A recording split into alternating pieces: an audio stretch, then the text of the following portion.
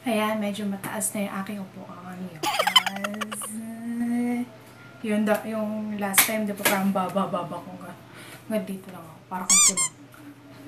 Ayan guys, hi! Hindi ako masyado nakapag-ayos ngayon kasi, Yeah! you know, kailangan ko bumawi. Charat! Siyempre, ayos na ayos ako sa inyo ngayon, mga bakala. Kasi bumabawi ako sa mga weeks and mga panahon na wala ako na-upload. Like, it's so sad.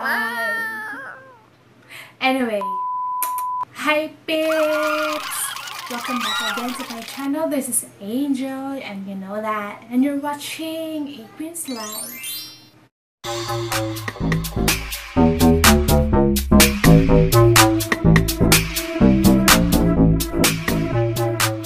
So first of all, first and foremost, subscribe, like, and hit the bell button. Okay? Yeah! Okay na, nagawa na na. Sige, wait. Ayan, nagawa na na. Ah, sige. Start na tayo. Nabasa na naman sa title na nag-review ako ng affordable na fake nails. So, ngayon, wala akong polish, nag-clean ako, yan, nag-nail cutter ako and everything para dito sa review na to. So, affordable siya. Parating na lang, actually, ito siya from Shopee. So, 55 pesos lang siya each. So, buksan natin. Okay. Actually, hati-hati kami dito ng hati-hati kami dito ng mama ko tsaka ni Nicole. So, ayun. Lima yung binili namin. Tingnan.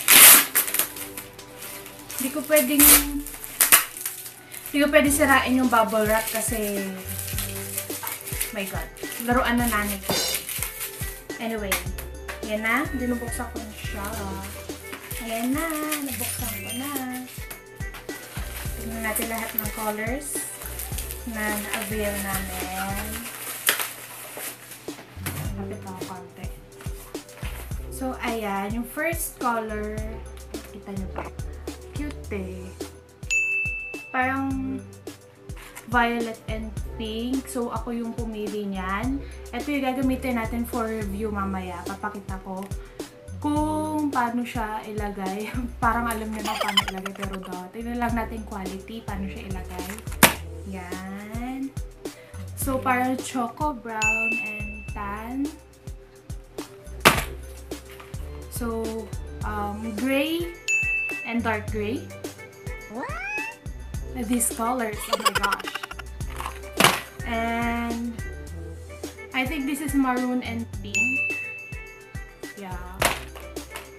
And last, dark gray and maroon. Okay, so lahat yan, 55 pesos each. Pero nabili namin siya nung sale nung July 7, kaya free shipping. So, at least, di ba, lima na yung nabili namin. Ayan o. Lima na siya. For 55 pesos. So, may nabibili naman na nail, fake nails na yung sa Watson sa tig pa 500, 499, ganun. Pero kung vegetarian girls kayo like us, parang pwede na siya for 55 pesos kung maganda naman yung nail eh, yung pagkakakat, yung pagkakashape, why not, ba? Pero kung, syempre, kung ma- may pera ka for extra, maganda rin yung nasa Watsons. Di, nakalimutan ko na yung brand, pero maganda yun. Ayun. So, tingnan natin. Buksan natin yung isa, yung gagamitin ko. Oh! Meron siya mga extra here. Okay. So, pang display lang pala to. Baka lang. So, yan. Sa loob. Parang 24 pieces siya per box. Tapos, vari- variety of sizes na rin siya. And then, meron siyang free na glue. Ayan. Every box may free na glue siya. Pero syempre, ang um, risk lang dito sa mga fake nails is kung toxic ba yung glue or hindi. Eto, hindi ko lang alam, pero syempre, use it with caution. Tapos, kung may feel naman kayo na parang something na that's not, uh, it, something's wrong with your nails, pagka nalagay nyo na yung fake nails, lalo na yung mga ganyan affordables lang, uh, remove it uh, all at once. Kasi, di ba? Ayun naman di masiri totoo yung nail. Tapos, sa mga review, parang okay naman siya. Wala man naman nakita negative. Walang 1 star, walang 2 star. Siguro may 3 star kasi mali daw color and everything. Pero wala pa akong nakikita na meron silang reklamo about sa glue and dun mismo sa nail. So, bakit nga ba kami nag-fake nail? Sa, gaya nga sinabi sa akin ng kapatid ko last time, gusto niya ng fake nail kasi pag nag-nail polish kami, nagsistain siya. So, parang hindi siya healthy kasi ayan. Ewan ko kung makikita niyo yung nail ko. May mga yellow siya eh, yellow Oh, stains. no!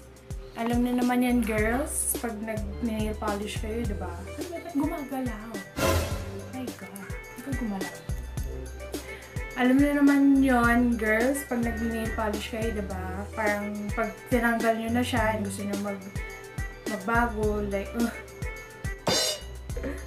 Nahipa na yung nails niyo, right? So, I'll be setting up the camera para ma makita nyo how I put the, the fake nail. Tapos, tingnan natin kung ano magiging itsura niya. Wait lang, guys. Okay, guys. Hi! I'm back. Nakikita nyo lang aking finger with the fake nail I am I'll be using and the glue. So, let's start. Tingnan natin. First, syempre, linis muna ng kuko and then um, syempre, mag-trim ng nails. Ano ba yan? Kailangan pa bang ituro? Daw. So, first, hanapin muna natin yung perfect fit. Ooh, oh my gosh, look. Yes. Siguro dito yung perfect fit niya.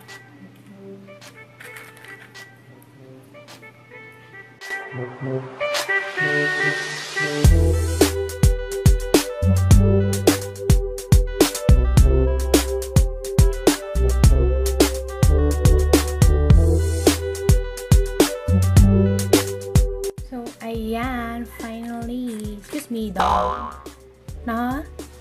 pick na ko ng right sizes for my right nails and left nails. Pero, impression lang guys, um, pagka ganitong affordable, hindi talaga siya sasakto sa nails mo. Merong malaki, merong maliit. Kaya, ayan, kumuha ko sa dito na set, itong light pink, para maiba naman yung color nung aking kuko ko sa ring finger. Ayan. Kasi walang kakasya na gantong color sa ring, ah, ring finger ko. So, ayun. Yun lang yung negative doon. Hindi sakto yung um, hindi sakto yung sizes ng mga fake nails dun sa talaga nails mo. Pero ito pwede na. So, let's glue it up.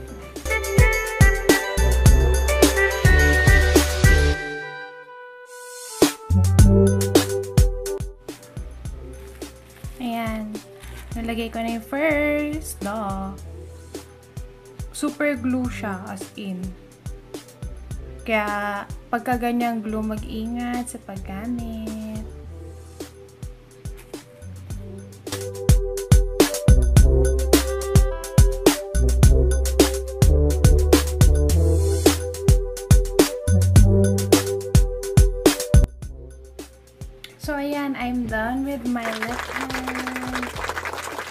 Impression, okay naman siya. Kaso, look at this.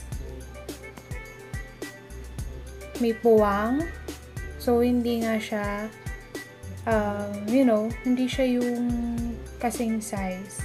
Pero, with the rest, okay naman. Ayan siya. And, as for the glue, I will recommend you to buy yung double-sided na lang na tape.